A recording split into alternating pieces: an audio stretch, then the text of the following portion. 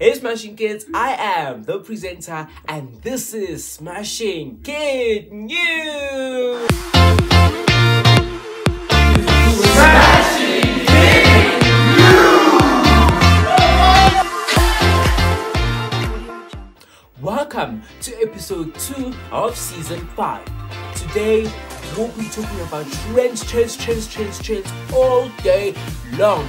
We need to critically analyze some things that have been trending right here in the country. So without any further ado, let's get started. So first up has to be Burna Boy.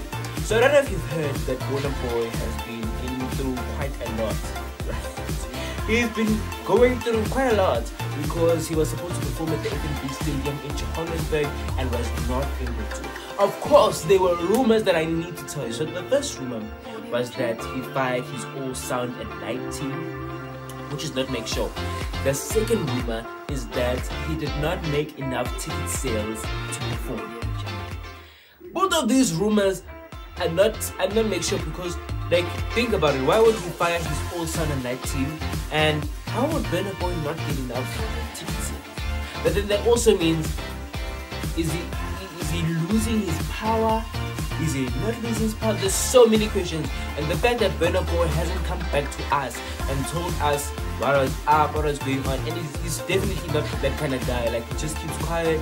I remember the time when he shouted uh, at the audience for being late. Like, he's, he's definitely not the type of person to be explaining his feelings and his emotions. So he's just like, you know what?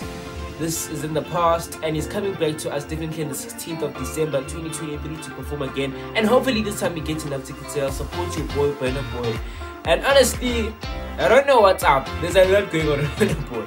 And then secondly, we have Miss Seduction.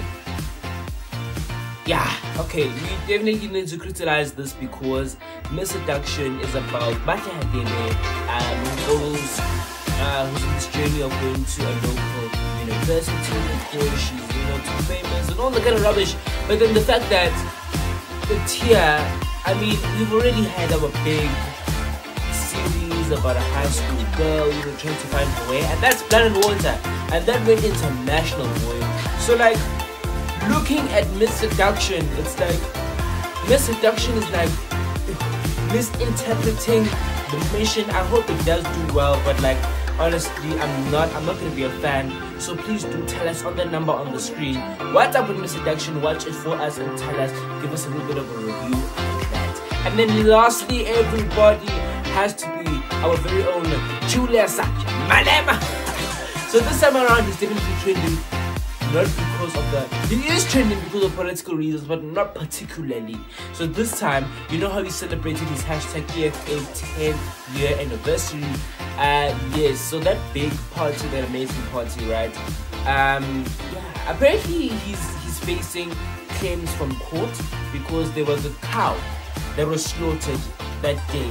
And he apparently stabbed the cow like 50 times so I don't know. It's it's it is part of custom. It is part of tradition. But he is facing a trial for that, and he has to pay big bucks because it's animal abuse. But honestly, it is it is tradition and it's culture. So I'm not sure if that's gonna be his.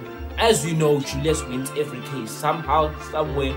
But he's gonna win anyway.